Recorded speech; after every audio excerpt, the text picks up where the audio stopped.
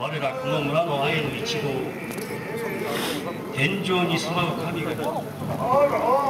奥山に住まう神々がこの西にいます。たくさんの木の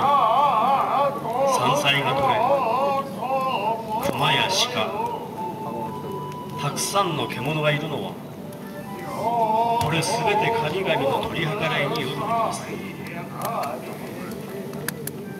天から下されたものに何一つ無駄なものはなく愛に人間は神々の自然をいや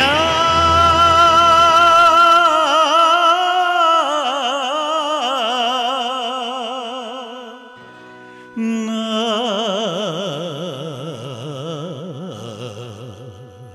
いよ満天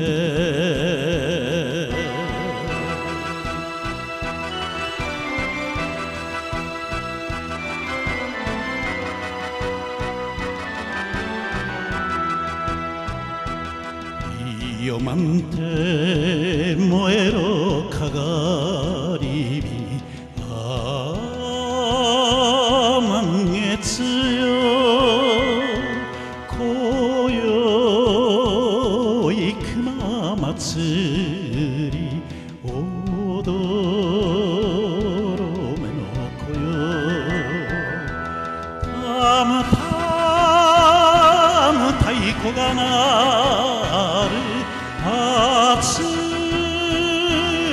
唇。誰に寄せてよ。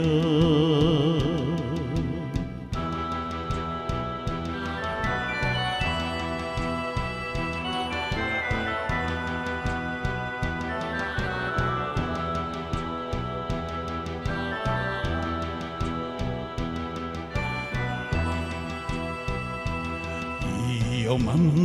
点あ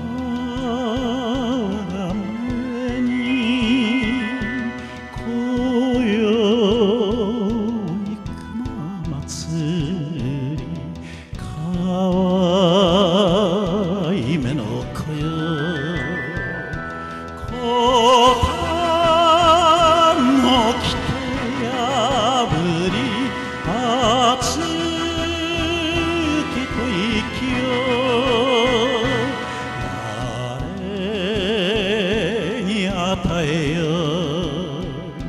yeah,